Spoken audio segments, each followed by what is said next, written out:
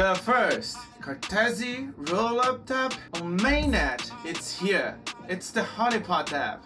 What is it? It's a buzzing challenge for Web3 developers. Hack it and you can have it. There is no requirement to submit a hacking recipe and no hidden elements to discover. Just 35,000 CTSI in the honeypot that will keep growing by 8% compounding allocations every week. Help us test the security of Cartesi rollups by trying to hack the honeypot app and drain the funds locked up in the rollup contract. As the honeypot is tested and fortified, it will bring increased confidence in the security of Cartesi stack for developers to launch new dApps as well as users that will come to use these new dApps that hold real assets. Are you up for the challenge? Visit the Honeypot GitHub repository and start exploring the dApp.